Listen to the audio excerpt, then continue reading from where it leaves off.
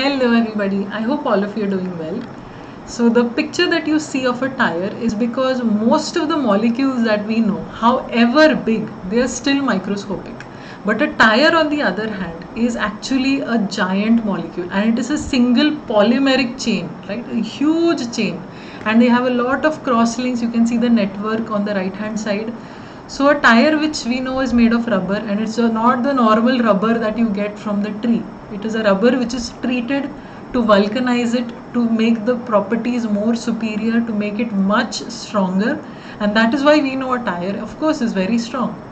But where does it get that strength from? Because of the chain. It's a huge chain and all of them provide so much strength to each other. They are all connected by these covalent bonds through the cross linking which is why it is not just a normal large molecule it is a macro molecule it is a huge polymer molecule and that is quite amazing. So have a good day guys